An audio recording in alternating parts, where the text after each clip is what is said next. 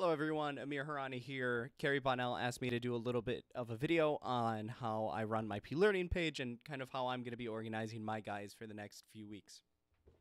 Now, I am an engineering elective, so the way that I run my P-Learning page uh, and kind of do some of my assignments might not help everyone. Uh, but I figured if I'm able to just show some people maybe some of the things that I do and that will be able to help them, uh, maybe just know some of the tools that P Learning offers, uh, or to be able to see how some other teachers are going about things, uh, that might be helpful. So, once again, I'm sorry if this isn't the solution that you need exactly, but hopefully this can uh, help you just understand maybe some of the tools and resources that P Learning offers. Right off the bat, uh, I'm going to be sending a lesson plan to my students for just about every day. Uh, I tried to be as clear as possible on what they're going to have to, like, what's the learning objective, procedures, what materials are they going to need, what's due today, what's going to be due later, uh, and then some notes on upcoming material and assignments. Uh, one thing that I know a few teachers have asked me already that I think is really helpful is if you go to manage class, edit roster, and at this point, you kind of want to make sure you go through your roster, make sure everyone who is in there needs to be in there. Um, so make sure you have your whole class. If you drop down here and you say email roster, you're actually able to email the students straight from P Learning. Not only the students, but you're also able to email the parents on P Learning. Uh, so if you click all students and all parents, or if you just click everyone, it'll send everyone that email. Anything that you send out to your class, the parents can also be copied on it if you want to hold the, hold the students a little bit more accountable uh, and, and put their parents on their assignments. So what I already did this week was, all right, they know they know all of their assignments for the week. I made this an attachment. I uploaded that and sent that to to students and parents so that they know here's expectations for for week one while we're doing this online online classwork. Uh, a little bit more in terms of just P learning. If you take a look at my page here, I kind of organize things from top to bottom. Top is already some of the stuff we've already touched on in mechanical engineering. As you go through, this is just how we're going to progress through the few few weeks, um, getting deeper and deeper into the content. Most of the pages that I have here to the left uh, if they're unpublished, it's just stuff that I don't use or I used in the past. Anything that's published is what the kids are going to need to use. Uh, so, engineering TED Talk discussion, computer science is already a section that we went over, mechanical engineering, and capstone. So, we're going to stay primarily in mechanical engineering uh, because that's the section that we're on right now. Uh, to give you a little bit of an understanding of uh, some of the kind of the tricks that I have here, I always make sure anytime I have like content and I know I'm going to do a discussion or I have worksheets and I know I'm going to have turn ins, I try to just organize it so it's right next to each other. If this is the link that they're going to need for to do the discussion board or the assignment, then the discussion will be right under it. A lot of the times guys just get confused trying to locate where everything is, and this this I think in my opinion helps helps a lot if we take a look at the different types of content blocks, and especially so you want to go to the content tab right here, there's a few different content blocks that you can use on page text, files, uh, YouTube, and web links are kind of what I use the most. Uh, I think that they're they're the easiest to use to be honest, uh, and it makes it just kind of makes the page work a lot better in terms of content. Uh, in in my opinion, you can also post up activities. Uh, in terms of messages and activities, I usually do discussion boards and assignments. Some people will do assessments online. I do that a little bit different, uh, but assignments and discussions are what I primarily use. I try to make sure that I'm uploading any essential content that the guys will need. We have a PowerPoint that we went over already for mechanical engineering. I usually put up two different formats of that because some guys will say, oh, PPT doesn't work on my iPad, PPTX does. Uh, it's kind of up in the air for for whatever format will work for whatever student. But as long as I have two these two formats, I usually don't have any complaints. Anytime that there's a PDF or something that's essential for them to use in class, uh, orthographic graphing paper, isometric graphing paper. Right now, they're be, they're going to be doing drawings, so they're going to need copies of that. All that they have to do, it really is simple. They just click it, it immediately downloads the PDF for them, and then they have that graphing paper, whatever whatever uh, you upload there. If you take a look, I also do some of these assignments. so I do I add in a content block and I add in uh, the content block that I would put for assignments is I use files and I just upload the assignment files and right below it I'll do the turn in. So they've already done two and three, so I'm waiting for them to do four, five, and six. And same thing, all they have to do is click the assignment for when it gets pulled up, here's the details of what they have to do, here's the worksheet. You go back to the page. Once they complete it, and there's kind of two ways that they can complete it in my mind. They either do it digitally in some of in some form of like a PDF editor or using Word, or they print it out and take a picture of it and upload it. They could also maybe just email you the answers if if it doesn't require any drawing or anything like that.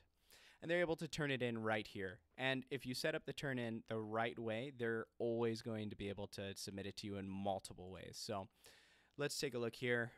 We'll add a content block, we'll add an assignment and we'll take a look at a few of those options. We'll take a few we'll take a look at a few of those uh, options when you're creating an assignment to make sure that students are able to insert content in whatever way they're able to. A lot of the times I tell them make sure that they're submitting it in terms of a PDF. Um, if they don't turn it in as a PDF, they can take a picture and upload it. Worst case scenario, they they try to send me the answers uh, via email. So just title the assignment.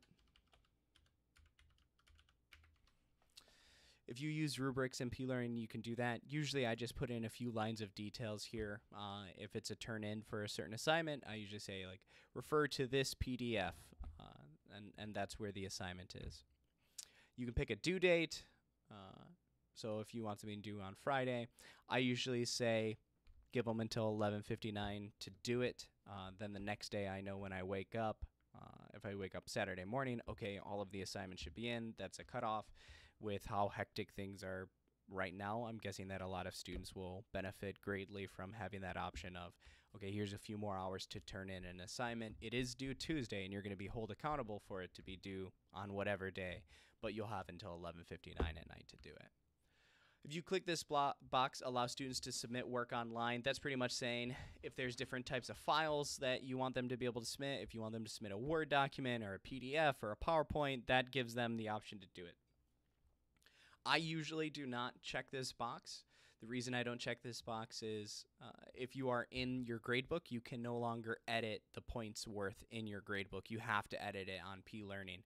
So I usually just make all of my assignments in my gradebook rather than uh, having P Learning do it for me, just because I think it's a little bit quicker the way I work. And then this just says, okay, on the on the page, make sure that it's displayed. And if we click here, we click save. Unfortunately, my students will have a new assignment coming up for them. Uh, they'll get alerts for this, so I'm sure they'll be a little scared, but it will just show up show up on the page. One thing that I do, like I said, anytime anytime that you're trying to keep your page organized, you really can just drag and drop these blocks and put them wherever wherever that you want one thing that I uh, kind of did as well is if you go to manage page and page layout, you can kind of decide how your page looks. I use the traditional two, which means you have that larger center block and then the smaller strip on the right side. Um, but if, if there's something visually or something that would help you organize your page a little bit better, there are some options there.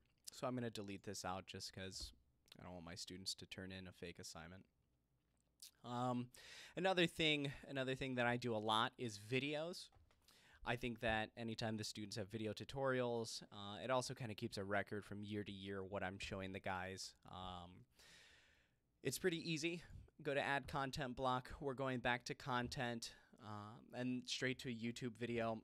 What you'll got to what you have to do is pull up that YouTube page and up here at the top, you just copy this copy this link and then you throw it over in this box click embedded and it will actually embed that video straight onto your p-learning page. You can give it a title. So if you can see here it says ISO to ortho example video.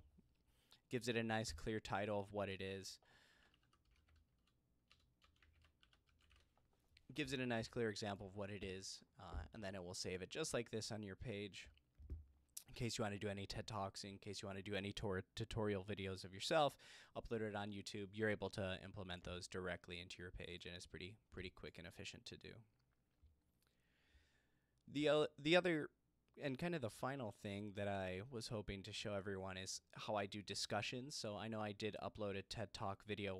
Something that my class does every week is on Friday we do an en- engineering TED Talk video, and then they get the rest of the class to work on their capstone project. So I'll do the same thing that I did. I'll upload the YouTube video, I'll embed it, it gets set, put on the page, and then right below it, I'll create a discussion. Usually, some pretty simple questions.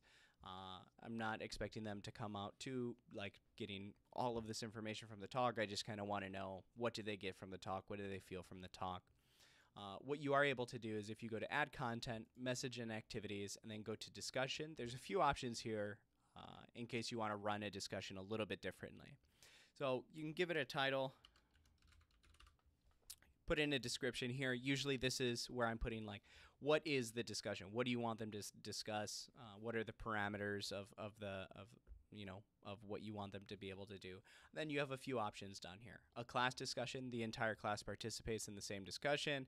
A group discussion, you can customize groups uh, so you can have uh, students participating together, or it's just uh, each student having a private discussion with you. You can go ahead and click next.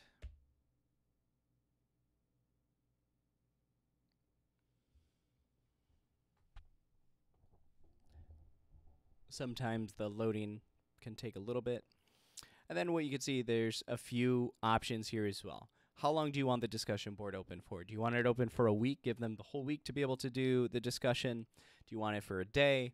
Um, like I said, I usually choose 11:59 p.m. as my turn-in times uh, because then I know, okay, the next morning I'll wake up, all of the assignments should be able to be there. Another thing here that I think is a pretty useful tool is this required students to post before seeing others' posts. So if they have to, if you put up a video and you want them to uh, do a discussion or you want them to be able to say like, hey, what did you pull out of this video? What did you see out of this video? And you want to make sure that they're not just going through those posts and saying, oh, well, Johnny Titan said this. That kind of makes sense. I'm going to say that too. If you click that, it will say, okay, the student has to be able to post first before they're able to see other people's posts.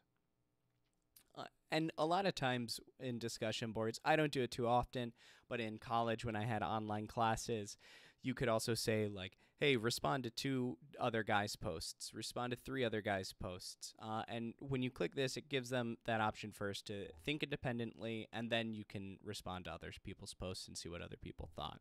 Same thing here. I never I never use this. I always make my assignments straight into into Power Teacher. Uh, that way it's easier to edit. And then you just click save. The discussion will show up on the page right up at the top, and you can move it anywhere you'd like. Uh, Like I said, my usual move is to move it right under the video, and then it keeps it clear, clear for the students.